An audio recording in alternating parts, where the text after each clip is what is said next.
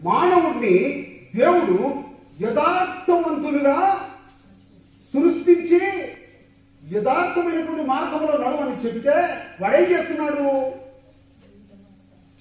వివిధమైనటువంటి ఏంటంట ఏంటి అవి వివిధమైనటువంటి తంత్రాలు వాడు కల్పించుకొని ఏర్పాటు చేసుకొని వీడు చిక్కుల పాలవుతున్నాడు. అలెలుయా ఎలాగవుతున్నాడు? చిక్కుడు పాలవుతున్నాడు ఎలాగంటే ఒక చిన్న కథ చెప్తాను. అర్థం కావడానికి దేవుడంట ఎద్దును సృష్టించి ఎద్దుతో చెప్తున్నాడంట. ఎద్దు నీకు అరవై సంవత్సరాలు ఇస్తున్నా. ఈ అరవై సంవత్సరాలు నీవు పొలంలో దున్నాలి. నువ్వు కష్టపడాలి. పొలంలో వ్యవసాయం చేస్తున్నటువంటి వ్యక్తికి నువ్వు బరువు మోస్తూ చాలా కష్టపడి పంటను తీయడానికి నువ్వు తోడ్పడాలి ఏంటండి ఆ? పొలం పని చేసేటువంటి వ్యక్తి వ్యవసాయం చేసేటువంటి వ్యక్తికి నువ్వు తోడుగా ఉండాలి సహాయపడాలి చాలా భరించాలి అని చెప్తే అయ్యా ప్రభువా అరవై సంవత్సరాలు అంత కష్టపడి జీవించటం నాకు ఇష్టం లేదు. దయచేసి ఏమనుకోండి అనుకుంటయ్యా ఇది భరించలేను. ఇదంతా నాకు చిక్కు సమస్య.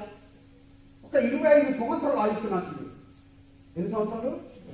ఇరవై ఐదు సంవత్సరాలు నాకు ఆయుష్ ఇస్తే సరిపోద్ది. ఈ ఇరవై ఐదు సంవత్సరాలు నేను బ్రతుకుతా అని చెప్తే దేవుడు అన్నదంట మంచిది సరేలే అని అంట.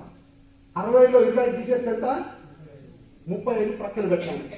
ముప్పై ఐదు సంవత్సరాలు ప్రక్కన పెట్టండి. మళ్ళీ తర్వాత కుక్కను చేశాడంట. ఎవరిని? కుక్కను చేసి కుక్క. నువ్వు ఇరవై సంవత్సరాలు బ్రతకాలి ఎందుకంటే వచ్చే వాళ్ళను పోయే వాళ్ళను ఇంటి దగ్గర కూర్చొని నువ్వు మొరుగుతూ ఉండాలి అరుస్తూ ఉండాలి కేకలేస్తూ ఉండాలి మొరుగుతూ ఉండాలి. చూడండి కనవాలి వచ్చుకొని కనవాలి. ఇటువంటి పని నువ్వు ఇంటి దగ్గర ఉండి ఒక కుక్కలాగా బతకాలని అంటే కుక్క అన్నదంట అయ్యో ఇరవై సంవత్సరాలు నేను మొరగటం కాపాడటం చేయటం నడవటం ఇదంతా నేను భరించలేను కానీ దేవుడా ఒక పది సంవత్సరాలు ఇది. పది సంవత్సరాలు బ్రతకడమే నాకు కష్టం అని అంటే దేవుడు అనుకున్నట్ట మంచిదే పది సంవత్సరాలు నీకు ఇస్తాను అని చెప్పి దేవుడు అనుకుంట. ఇరవై సంవత్సరాల్లో పది సంవత్సరాలు తగ్గింది. పది సంవత్సరాలు పక్కన పెట్టాలి. తర్వాత దేవుడు కోతిని చేశాడంట. ఎవరిని? జాగ్రత్త జాగ్రత్తగా వినాలి. కోతిని చేసి కోతి కూడా చెప్పాడంట కోతి నువ్వు ఇరవై సంవత్సరాలు బ్రతకాలి. ఇరవై సంవత్సరాలు ఎందుకు బ్రతకాలంటే నువ్వు అన్ని కోతి పనులు చేయాలి. కోతి పని ఏంటి? ఇతరులను నవ్వించడం? కోతిని చూస్తే కోతి పని అంటే ఇటుకి ఎంటడం వాటికి ఎంటడం ఇటు దునకటం వాటి దునకటం ఆ? వాని దగ్గర కూర్చొని లాక్కటం ఇటు కూర్చొని లాగటం కవర్ తీసుకొని వెళ్ళిపోతాంట లాక్కోవటం. కానీ ఏం పట్టలేదు కానీ కోతి పనులు. కోట లేదా అబ్బో దేవుడా ఇరవై సంవత్సరాలకి అట్లాంటి పని చేయలేదు కానీ పది సంవత్సరాలు చేయగలుగుతా.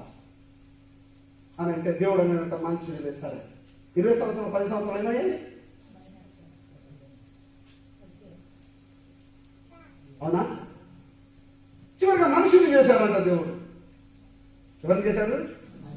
మనుషులు చేసి మనిషి నువ్వు ఇరవై ఐదు సంవత్సరాలు బ్రతకాలి బాబు. ఎందుకంటే ఇరవై ఐదు సంవత్సరాలు సంతోషంగా ఆనందంగా ఉత్సాహంగా చాలా ఆనందంగా గడుపుతూ ఇరవై ఐదు సంవత్సరాలు అందరితో ఆనంద పాలన చేస్తూ ఆనందంగా గడుపయ్యా అని దేవుడు చెప్పాడంట. ప్రభువా ఆ ఇరవై ఐదు సంవత్సరాలు నాకు సరిపోవు. ఇరవై ఐదు సంవత్సరాలు నాకు సరిపోవు. ప్రభు ఒక మాట ఒక ఐడియా చెప్తా ప్రభు ఎద్దు దగ్గర ఎన్ని సంవత్సరాలు మిగిలాయి? ముప్పై ఐదు. సంవత్సరాలు మిగిలాయి ప్రభు ఇరవై ఐదు ముప్పై ఐదు అని అరవై సంవత్సరాలు. ప్రభు కుక్క దగ్గర పది సంవత్సరాలు మిగిలాయి. డెబ్బై. ఐదు కోతి దగ్గర పది. సంవత్సరాలు మిగిలేదు ప్రభు. ఇవన్నీ నాకు కనిపించే ఎనభై సంవత్సరాలు బ్రతుకుతా. అదే అధిక బలం ఉంటే ఎన్ని సంవత్సరాలు? బైబిల్ ఏం చెప్తుంది? అధిక బలం ఉంటే ఎనభై సంవత్సరాలు. ప్రభు నేను ఎనభై సంవత్సరాలు బ్రతుకుతా అన్నాడంట. మంచిదిలే బాబు. ఇక నువ్వు కోరుకుంటున్నావు కదా ఎనభై సంవత్సరాలు తీసుకోవాలంట మానవుడి యొక్క ఆలోచన తంత్రాలు ఎలాగా ఎలాగవుతున్నాయి వాని సొంత ఆలోచనలు దేవుడు ఒకటి చెప్తే మానవుడు ఒకటి తయారు చేసుకుంటున్నాడు. దేవుడు ఒక విధానంలో నడవమని చెప్తే మానవుడు మరొక విధానంలో నడుస్తున్నాడు. ఆలోచనలు మారిపోతున్నాయి తలంపులు మారిపోతున్నాయి మనిషికి ఆశ పెరిగిపోతుంది. ఎక్కువ ఎక్కువ జీవించాలనుకుంటున్నాడు మంచిది అని ప్రభువు మంచి లేదా బాబు నీకు దత్తలే సంగతి అనుకున్నాడంట. అయితే ఇరవై ఐదు సంవత్సరాల మనిషి జీవితంలో నాలుగు విధాలు ఉంటాయి. ఎన్ని విధాలు? వీడు చేసుకున్నటువంటి తంత్రం కనుక నాలుగు విధాలు. మొట్టమొదటి ఇరవై ఐదు సంవత్సరాలు పుట్టినటువంటి ఇరవై ఐదు సంవత్సరాలు పుట్టినప్పుడు ఇరవై ఐదు సంవత్సరాల వరకు కుమారుడు కానీ కుమార్తె కానీ ఎలా ఉంటారు? బలంగా దళంగా సంతోషంగా టీవీలు చూసుకుంటే కొనుక్కుంటూ పాటలు వేసుకుంటే కొనుక్కుంటూ ఆడుతూ పాడుతూ కాలేజీకి వెళ్తూ స్కూల్కి వెళ్తూ ఎస్ఎంఎస్లు పట్టుకుంటా ఫోన్లు చేసుకుంటా హాయ్ ఈ అని చెప్పేసి ఏం చేస్తారు వీళ్ళు? సరదాగా గడుపుతారు ఆనందంగా సంతోషంగా గడుపుతారు. తల్లిదండ్రులు తల్లిదండ్రుల దగ్గర ఉన్నంతసేపు ఇరవై ఐదు సంవత్సరాలు దాటిన తర్వాత పెళ్ళి కాగానే స్టార్ట్ అవుతుంది ఏం స్టార్ట్ అవుతుంది ఎద్దులాగా పని చేయవలసిందే వీడు. ముప్పై ఐదు సంవత్సరాలు. అరవై సంవత్సరాలు వచ్చేదాకా గవర్నమెంట్ ఉద్యోగం చేయవలసిందే. ఆ, ఏం చేయాలి అప్పుడు? ఎందుకంటే ముప్పై సంవత్సరాలు తెచ్చిపెట్టుకున్నాడు కదా. ఇప్పుడు ఏం చేయాలి వీడు? ఎద్దులాగా వీడు చేసుకున్నటువంటి తత్వం ఇది. హలో వింటున్నారా? వింటున్నారా? చెప్పండి వింటున్నారా లేదా? ముప్పై ఐదు సంవత్సరాలు తెచ్చిపెట్టుకునేది ఎవరు మనిషి ఇప్పుడు ఈ మనిషి ఏం చేస్తున్నాడు ఎద్దులాగా పని చేయవలసిందే వద్దన్నగానే ఎద్దులాగా పని చేయవలసిందే ఇరవై ఐదు సంవత్సరాలు కాగానే పెళ్ళి చేయగానే అరే నువ్వు ఏర్పడిపోరా ఇప్పుడు ఏం చేయాలి నేను ఉద్యోగం చేసుకోవాలి పని చేసుకోవాలి ఇక అత్త కోడళ్ళకు ఒక విరుద్ధం. కొడుకు తల్లులకు ఒక విరుద్ధం. రకరకాలైనటువంటి గొడవలు. ఇవన్నీ ఇప్పుడు భరించుతున్నాడు ఎద్దు దగ్గర తెచ్చుకున్నప్పుడు ముప్పై సంవత్సరాలు తప్పకుండా వాడు భరించవలసిందే. మీరు గమనించి చూడండి. ఎందుకంటే నాకు ఇరవై ఐదు సంవత్సరాలు ఉన్నప్పుడు పెళ్ళి చేసుకున్నాను కాబట్టి నాకు తెలుసు కాబట్టి నేను చెప్తున్నా. మీకు అందరికి మంచి హాయిగా సుఖం ఉండొచ్చు. ముప్పై ఎనిమిది నలభై ఏళ్ళ సుఖం ఉండొచ్చు. కానీ సుఖం కాదు అది. నిద్ర పట్టదు. టైం సరిగా తినడు చింత పండుకుంటే ఒక ఆలోచన లేస్తే ఒక ఆలోచన. సంపాదన ఎట్లా? తెల్లారే చదువుకాలి ఎవరిని ముంచాలి? ఎవరితో ఏం మాట్లాడాలి? ఎవరికి ఏం చీటింగ్ చేయాలి? ఎవరి దగ్గర ఎట్లా తప్పాలి? ఎవరి దగ్గర ఏ దాన్ని ఏం చేయాలి? ఇదేం చేయాలి? ఇదే కథ.